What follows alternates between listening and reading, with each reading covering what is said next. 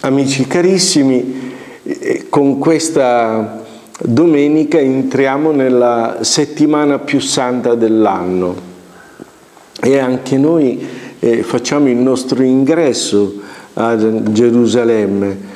Questa Domenica delle Palme sono due i testi del Vangelo che si leggono, uno breve, eh, proprio che parla dell'ingresso di Gesù a Gerusalemme, eh, accolto con gioia, con festa dalla gente, con rami d'ulivo, con palme e, e va su una, um, una, puledra, entra a Gerusalemme come eh, il grande re Davide. Davide fece il suo ingresso a Gerusalemme da re non sul cavallo ma su una puledra. E quindi viene celebrata la regalità di Gesù. Gesù è il nuovo Davide che viene a riportare l'unità del regno, eh, l'unità dell'umanità.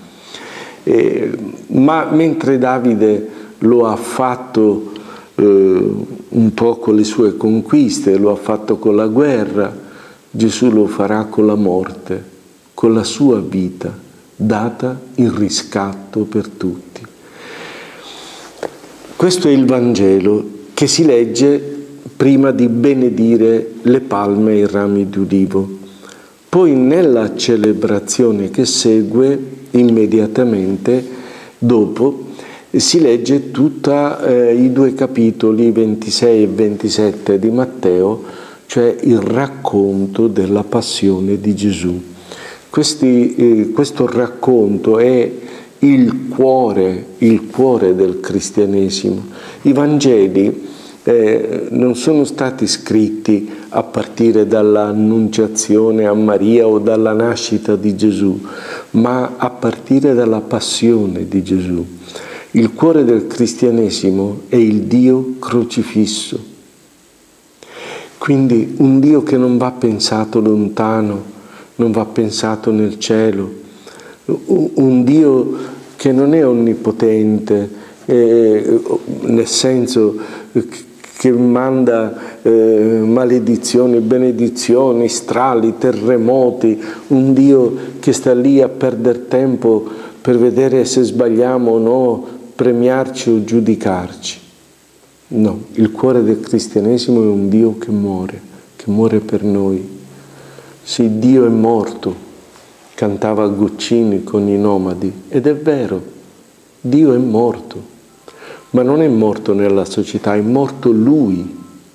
E in quella morte ha toccato il limite dell'esistenza umana.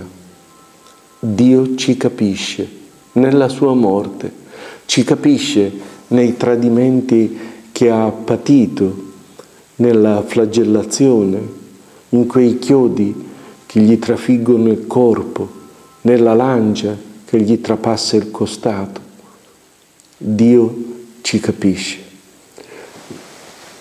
Può un Dio essere così umano come è stato davvero in Gesù di Nazareth?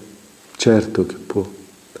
Per questo è possibile che ogni uomo sia divino, perché in Gesù, lasciandoci attirare da Lui, percorrendo i suoi sentieri, ricalcando le sue orme, che sono orme eh, d'amore, di dono, di perdono, di accoglienza, noi possiamo diventare come Dio.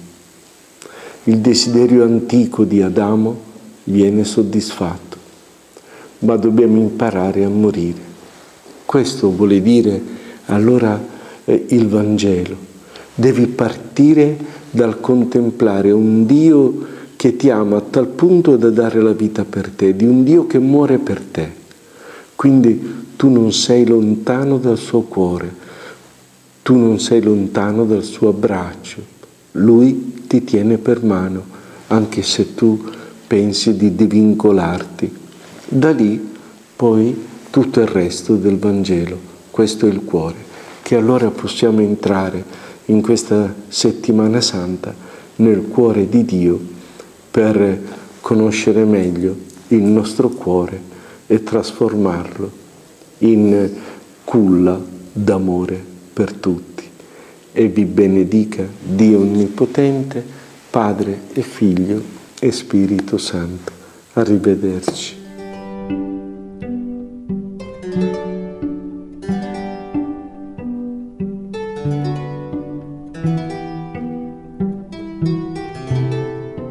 Música